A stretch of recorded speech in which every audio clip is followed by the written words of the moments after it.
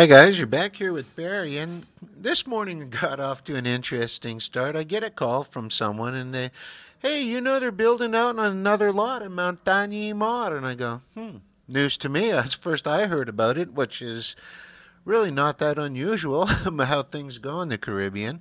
But in any event, I thought I'd venture out here, and uh, I kind of assure you this won't be one of those boring, uh, simple videos. That, yes, they're breaking ground on the front uh, tier.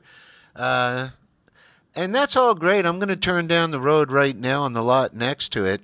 And they're filling in, uh, coming in with the caliche and what have you. But some of the pictures that Leanne's going to stitch onto this is uh, going to give you some of the real reason why I love living in this place if you can adapt to it.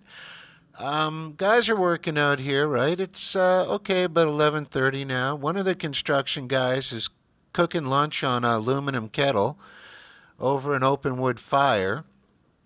Uh, a couple of them came here by donkey. Another one came here by horseback. And some of these pictures, like I say, Leanne will stitch them in. They're they're great. They come in with their pet dog, and their dog's having a great day here while they're working away.